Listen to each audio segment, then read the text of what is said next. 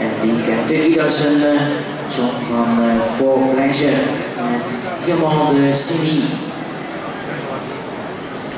Joris de Brabander en Bert van der Branden zijn de fokkers en eveneens eh, eigenaars. Kentucky die wordt uh, ter dekking voorgesteld. Joris de Brabander en de SPL van de Zondag. De Wallingen.